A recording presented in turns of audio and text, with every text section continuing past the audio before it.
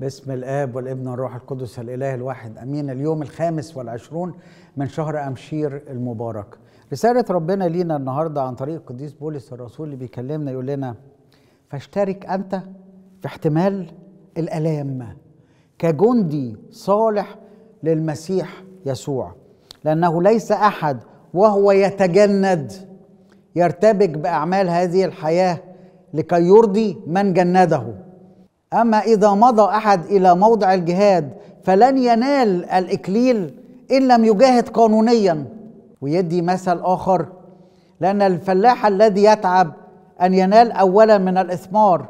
افهم ما أقول يعطيك الرب علما في كل شيء. اذكر يسوع المسيح الذي قام من بين الأموات. وهنا ما هو القانون لهذا الجهاد؟ هل هناك قانون لهذا الجهاد؟ آه طبعا في قانون. والقديس بولس الرسول حط لنا المثلين مثل الفلاح اللي بينتظر اللي بيصبر ومثل الجندي اللي بيقف في مكانه. بيقف في مكانه يعني إيه؟ يعني هو ملتزم مهما ناله من صعاب فهو ملتزم بالحياة الروحية. وعنده التزام داخلي. هذا الالتزام الداخلي بيخليه ما ي... لا بدون تشويش ما يقدرش كده يرتبك بأعمال أخرى. يعني المسيح في حياتك مش حدث عارض إنما هو الأساس للحياة. الحياة الروحية مش حدث عارض للحياة. يعني مش إحنا ماشيين في حياتنا اليومية بدون ثقة في الله وبدون عمل روحي. أنت المسيح هو اولا وبعدين لا ترتبك بأعمال الحياة اللي هي بتاخدك بعيد عن ربنا.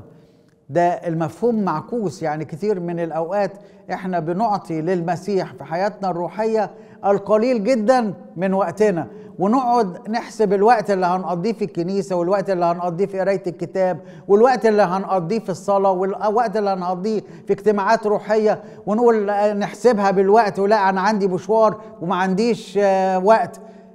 الوقت ده بتاع المسيح ما ترتبكش بأعمال الحياة. لأنك تجندت للمسيح وانتظر كما ينتظر الفلاح بصبر الثمر الروحي المتكاثر لحساب حياتك الروحية حتى تستطيع أنك أنت ترث الحياة.